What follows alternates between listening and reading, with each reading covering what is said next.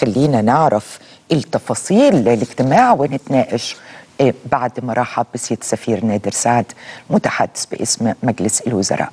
أهلا بحضرتك معنا سيد السفير مساء الخير مدام عزة. أهلا بحضرتك. أهلا بحضرتك فندم. أهلا بيك. إيه موضوعات كتير. يعني أنا قسمت كده ال- المفروض إنه الأهم إيه في الاجتماع صباحا كان أنا شايفة إنه ثلاث موضوعات وحضرتك لو عايز تضيف تضيف بس خليني أبدأ مع حضرتك اسمح لي بالمشكلة اللي إيه أو الموضوع اللي شاغل العالم كله وهو ما يحدث ما بين روسيا وما بين أوكرانيا والتداعيات الجديدة اللي كل شوية بيبقى فيها جديد. مهم قوي نعرف من حضرتك النهارده تم مناقشة إيه صباحا مع آه، دكتور مصطفى مدبولي رئيس مجلس الوزراء وتداعيات إيه التداعيات إيه على مصر يا فندم؟ اتفضل.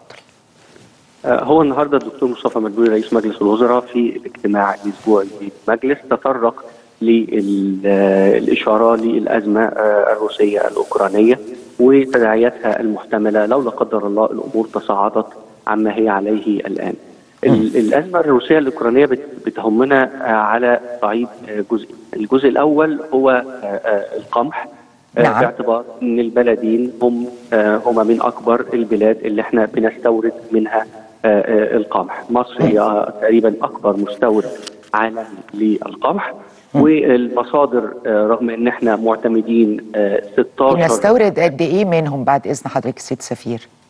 آه، لا بنستورد كميات كبيرة يعني يعني روسيا لوحدها آه، يعني لو بنتكلم عن العام الماضي تقريبا آه، 80% من آه، حجم الأقماح اللي جت آه، أو استوردتها آه، هي السلع التموينية علشان تسد بيها العجز علشان رغيف الخبز. آه، نعم. آه، مصدرها روسيا. فروسيا مصدر كبير جدا آه، زي ما بقول لحضرتك يقترب من 80% من نسبة الأقماح اللي إحنا آه، بنستوردها. يأتي بعد ذلك طبعا آه، أوكرانيا ودول أخرى إحنا عندنا آه، 16 منشأ. 16 دولة معتمدة آه، من جانب وزارة التموين آه، نعم. لاستيراد الأقماح آه، منها. فا أي نعم هي روسيا وأوكرانيا هما رقم واحد واثنين تقريبا الأكبر لكن في 14 آه، دولة أخرى. فلو في حالة لو لا قدر الله حدث أي تصاعد أثر على كميات الأقماح اللي إحنا ممكن نستوردها من هذين البلدين فهناك 14 دولة أخرى وبعض هذه الدول الأخرى خارج القارة الأوروبية أصلا يعني يعني آه، الولايات المتحدة آه، كندا آه، الأرجنتين أستراليا باراغواي دي أمثلة لخمس أو ست دول خارج القارة الأوروبية ومعتمدة من جانب وزارة التموين كمصدر للاقماح فده اللي إحنا الفترة اللي جاية هتفرق في الأسعار يا سيد سفير؟ ألو هتفرق في الأسعار يا فندم؟ آه، طبعا بكل تأكيد لو آه، آه، آه، واردات وارداتنا من أو الواردات العالمية من القمح اللي منشأه آه، روسيا وأوكرانيا يتأثر بالأزمة الجارية أو أي آه، تصعيد لها الضغط على باقي المناشئ المناشئ مناشئ القمح أو الدول الأخرى المورده للقمح هيزيد فده هياثر بالقطع على الأسعار. لكن اللي حي... اللي مطمئن في هذا الأمر حاجتين فيما يخص مصر. أول حاجة إن إحنا عندنا حاليا في الوقت اللي أنا بكلم حضرتك فيه عندنا مخزون استراتيجي من القمح يكفي خمسة أشهر كاملة. مم. ده ده الجزء الأول.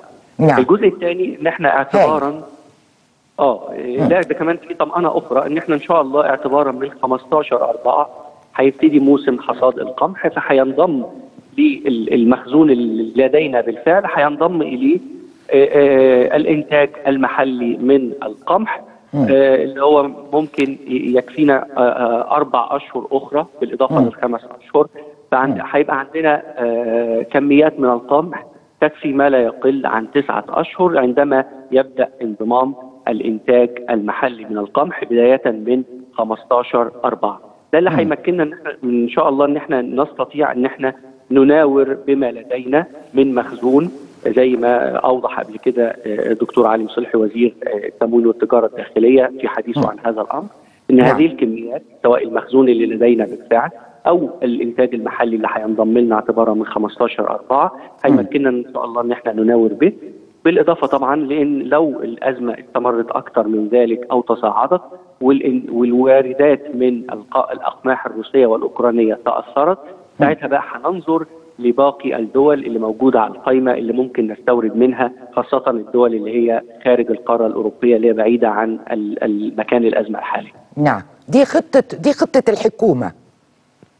دي خطة الحكومة فيما يخص الجزء الأول من التداعيات الأزمة الأوكرانية. أنا قلت إن لها جزئين الجزء الأول آه، آه، مباشر وهو القمح. الجزء الثاني طبعا بيتعلق بتأثيرات هذه الأزمة على أسعار النفط العالمية اللي إحنا طيب. شاهدنا وشفنا كلنا إنها بدأت تتصاعد بشكل كبير جدا. استاذن حضرتك و... وأنت معودني إنك بتستحملني يا سيد سفير. معلش. آه طبعا. قبل